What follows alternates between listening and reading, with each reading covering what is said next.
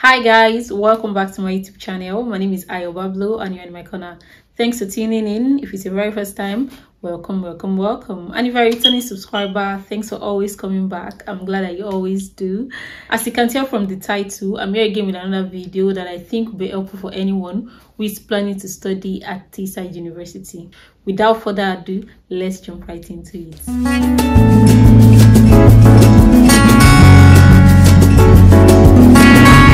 Plan is to study data science at Teesside University, once you get to the website, you see data science and you see applied data science.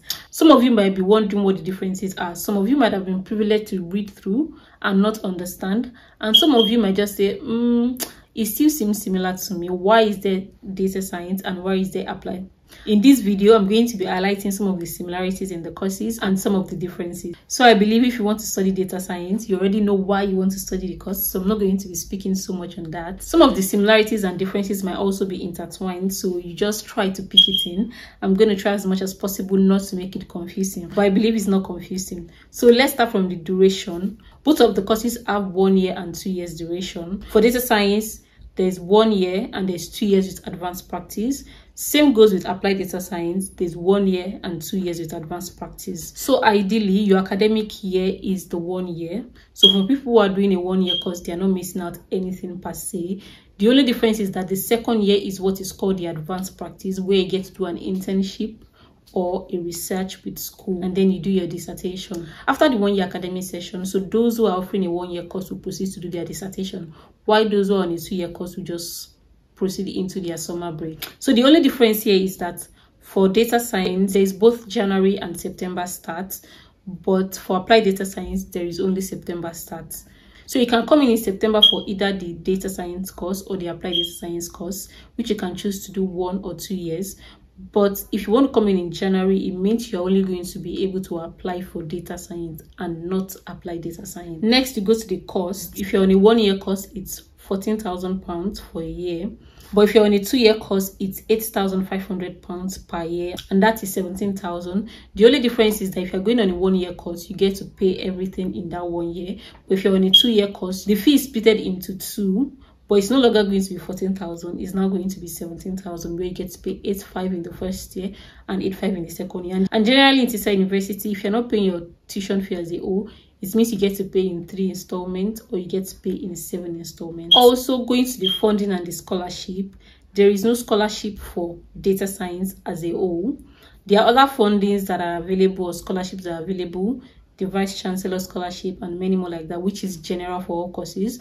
But as regards data science and applied data science there is no scholarship for data science. There is only scholarship for applied data science. And that is the ofs scholarship office for students scholarship which i'm a recipient of. If you have not seen the video i'm just going to link it up here so that you can get to watch it if you are interested. It means that if you're interested in the 10,000 pound scholarship it means you're going to be applying for applied data science. And now we go into the course structure for data science and applied data science. And i think this part is actually very important so you know what you're getting into even though they are kind of similar there are still some differences and I'm going to be highlighting the differences in the course modules. So I'm going to be highlighting the courses by the semester and the tools you're going to be using in those courses. In the first semester for data science, you get to learn big data and business intelligence. And in this course, you're going to be using Microsoft Power BI. You get to learn about big data, data warehousing, you know, flat tables, business intelligence, data visualizations using Microsoft Power BI. In the first semester, you get to learn about statistical methods, and here you learn about quantitative and qualitative data analysis techniques, you know, correlations, regressions.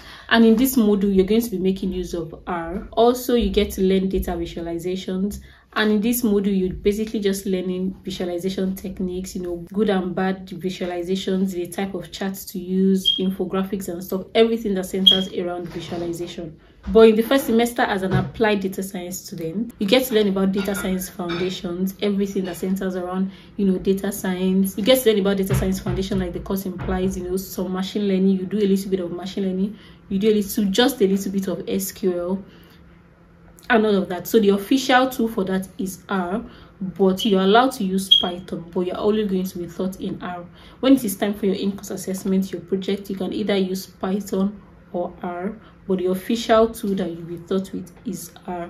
Also you do software for digital innovation for applied data science and here you're basically just learning and using python. And then graphic user interface guis so you're basically combining python and GUIs. The thing about these tools is that they take you from the basics, but you know, it's a master's degree program. They are not wasting so much time. So it's just going to be, you're just rushing through the basics until you get to what you're actually going to be needing. You're also going to learn a little bit of visualizations and stuff, like just like the course implies, you're going to be learning visualization in almost every aspect of the course, but you know they're not wasting so much time. And then for applied data science in the first semester you also get to do big data and business intelligence just the same for data science too. So both data science students and applied data science students will take the big data and business intelligence course. Amongst other people there are people from artificial intelligence you know fintech and all other people also taking the course. Since this video is limited to just data science and applied data science both departments will be learning big data and business intelligence. And we move to the second semester. Out of the three courses for the second semester, both data science students and applied data science students will be taking two courses together. That is machine learning and interactive visualizations. Both data science students and applied data science students will be taking the courses so for machine learning, you're going to be taught in Python majorly. This is where you do everything that has to do with machine learning proper, proper, proper, you know. But for machine learning, there's also an option of using R. You're going to be provided with documents if you want if you're going to be using R and document if you're going to be using Python. But majorly it's going to be Python programming language. And then interactive visualizations, I think that one is like the I don't want to say the hardest one of it all except you're interested in like you know javascript html and css you know then you'll find it very interesting.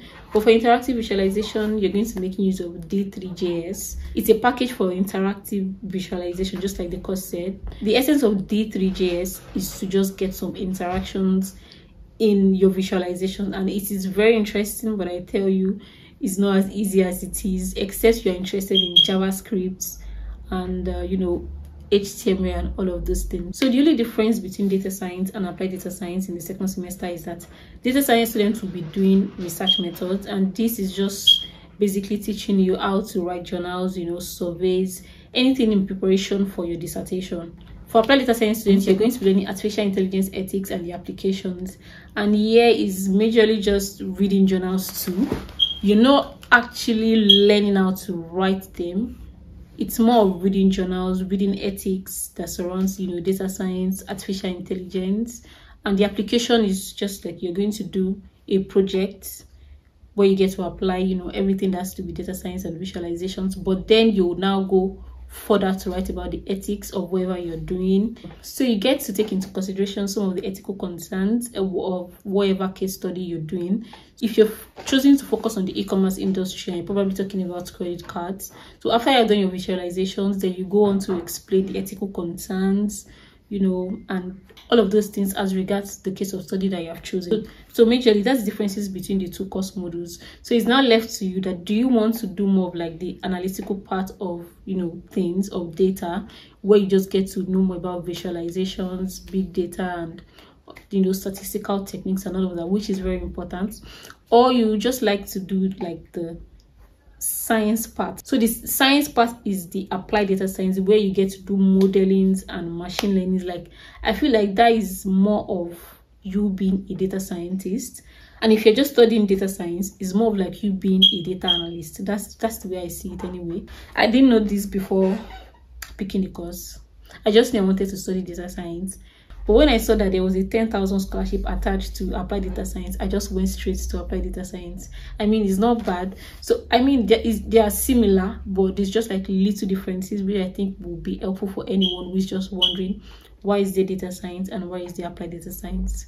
So i think that's it. If you have any questions any more clarifications on this you can drop it in the comment section below. There's also artificial intelligence and applied artificial intelligence and there's another course called artificial intelligence and data analytics. That is a different sphere on its own. But all of these courses you still get to do them with you know other people. Like big data and business intelligence so many people in the faculty did it. Data science applied data science artificial intelligence you know artificial intelligence and data analytics. So many of us did it. So they're, they're like general courses and they're just little little little differences in the courses. So they are they are kind of similar. I mean that's just all of it. Just drop any questions you have in the comment section below. I also want to talk about the realities and expectations of you know studying data science. I'll get to do that shortly just you know prepare your mind if you're coming to study data science. I mean that's basically just it. Subscribe if you have not. Share this video like comment and all that good stuff. And i'm going to see you in my next video. Until then bye